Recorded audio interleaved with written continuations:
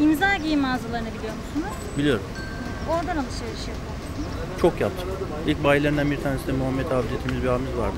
Cevat Beyşan'ın. Ondan çok yaptım. Güzeldi. Şu anda Çak Çatı'nın sonunda sol tarafta bir bahis var. Yok onu duymadım. Hayır maalesef. İmza giyim mağazalarını bilmiyorum. Onu hiç duymadım. Anladım. Onun da yeri Sedat Kırtepe Caddesi'nde. Duydum ama çok da bilmiyorum açıkçası. Duymadım. Yok bilmiyorum. Maalesef. Onun da yeri Sedat Kırtepe Caddesi'nde. Birkaç kez alışverişim oldu ama çok yapmadım. Hayır. Yok duymadım. Hayır. Yok onu bilmiyorum. Duymadım hiç. Yeri Sedat Kırtepe Caddesi'nde. Evet iki taraflı bir arkalı önlü bir giriş çıkışı var. Evet biliyorum.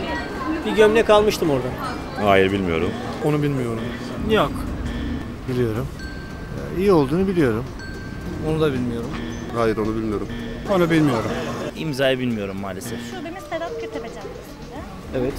Ee, oranın da genelde takım elbiselerini daha çok seviyorum. Çünkü beden olarak daha uyumlu olduğu için. Ben de sıfır beden olduğum için daha güzel oluyor.